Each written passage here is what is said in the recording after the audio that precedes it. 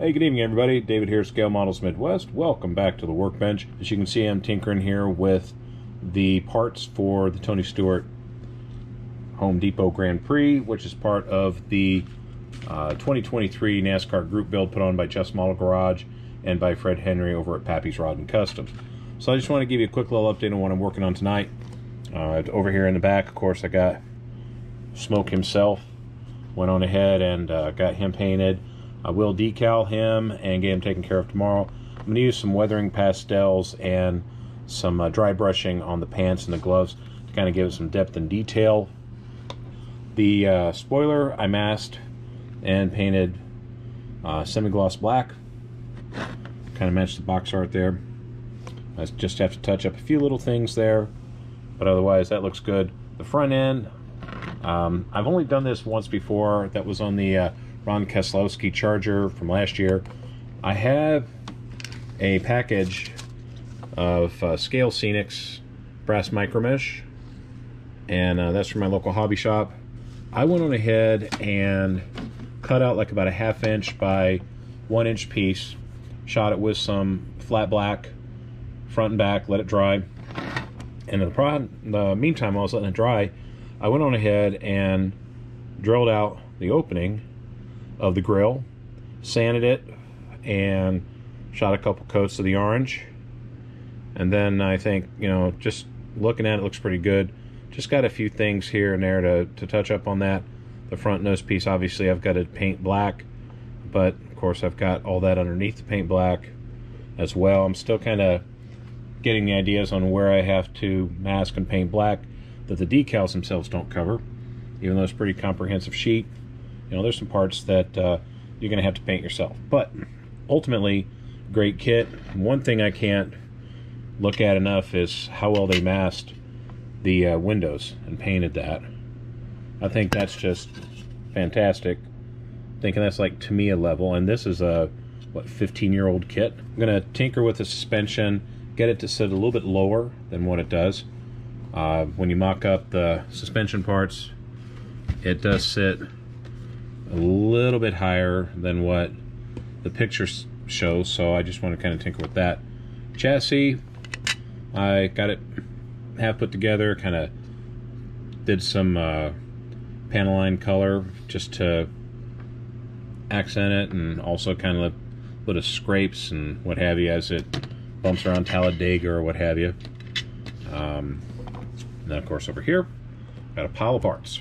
I have all that just painted, dried, just ready to start putting together on the kit and get this all buttoned up. This is one of the kits I am building. Um, I decided I'm going to give myself a trifecta of NASCAR cars for the challenge since it's going on pretty much the whole year. Uh, I am definitely I'm going to be painting and building one of those. I believe I'll be doing the uh, Petty Roadrunner uh, or I'll do the number 11 Charger over there. But I had something come in the mail yesterday. Give me a second.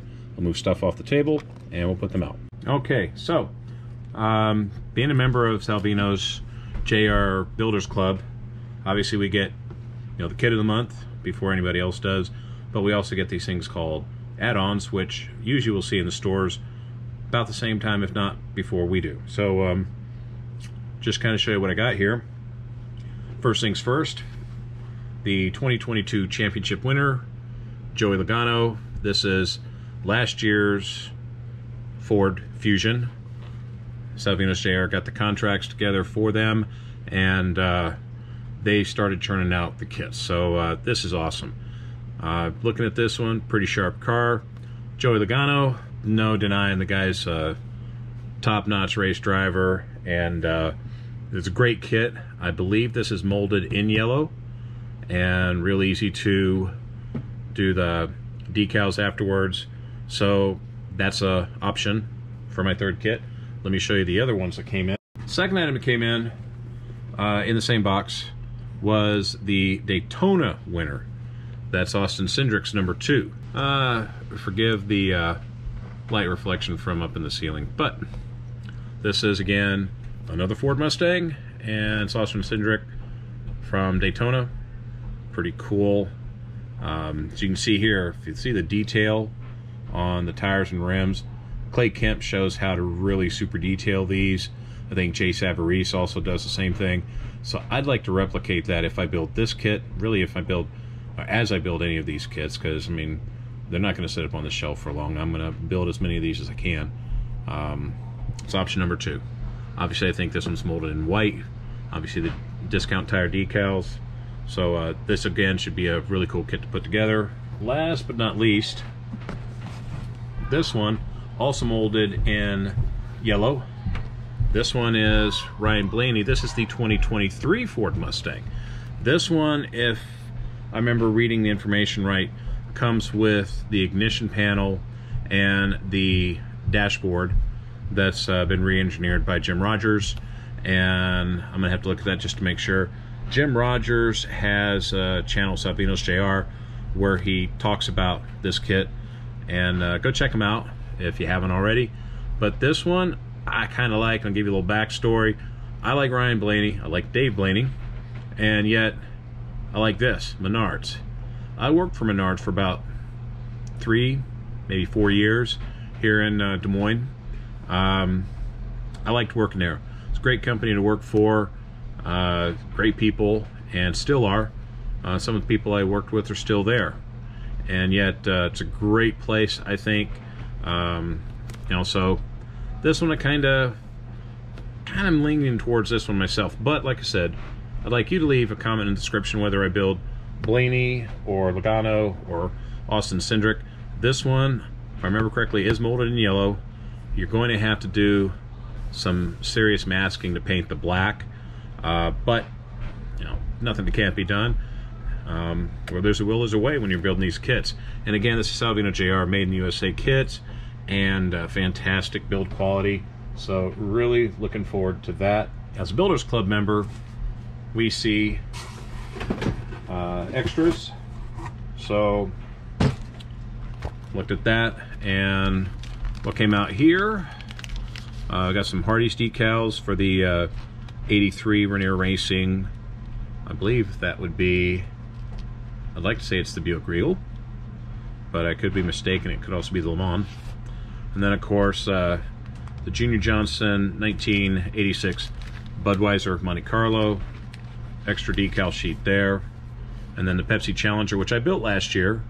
That's also for Junior Johnson's 83 uh, Monte Carlo, which I think is one of the sweetest rides that uh, ever hit the track. And then, of course, the decal. This is the first time I've seen this one. Born in a barn in Texas. The Salvinos JR get right there, and that's also what's on Jim Rogers' channel when uh, it starts off. So uh, I can't wait to put this one on the table. Okay, so that's pretty much it for the evening. I just wanted to show you what I had so far for the Pontiac. Uh, probably tomorrow I'll start decaling it. Uh, this weekend I'll have an update video. Hopefully I'll have the parts in um, for the other group build I'm working on. That's the under 1000 group build that's being put on by Rob over at Time Machine Scale Models and uh, Mike's Model Shop. I've uh, been doing some research on the sudden death Mustang 2 and starting to put some uh, parts grocery list together, if you will, and start ordering parts. I'll show you what I've ordered, and uh, hopefully the start, parts will start coming in this weekend. Um, other than that, again, leave your comment in the description which one of these three Mustangs I should build as part of the group build, whether it be Ryan Blaney's 23 Mustang, uh, Cindric's Daytona winner from last year, or uh, Joey Logano's championship Mustang. Uh, all three are great looking kits. I could build any one of them, but I'll build the one that you suggest. The, the most commented one, I'll build that one as one of my three kits. Uh, those of you who have a dog in the hunt for that NASCAR group build, I can't wait to see what your videos are like. So definitely, as you're posting yours, um, I get notifications. Hopefully you, you're subbing and notifying for mine as well. Uh, I'd like to see what you're doing because maybe I can get some ideas from you, what you're building. Maybe I can add some of that kind of detail to my kits. It just helps me make better kits, and I hope that what I build helps some of you make better kits as well. I think that's what the whole model community is about. So, um, yeah, I can't wait to see what you're building. And with that, thanks for checking out the videos. Always like, subscribe, share. Build the kits you want to build, and uh, by all means, show them off. And if you'd like to show them off on my channel, my email's in the description. In fact, right after I get done with this video, I've got another one without sound. I'll just have uh, some comments on it. Larry Landis has sent me some updated pictures and detail on the Sizzler that he has restored. Can't wait to show you those because, man, this kit is just fantastic. I've shown you pictures of them in a previous video. Wait till you see the update. See ya.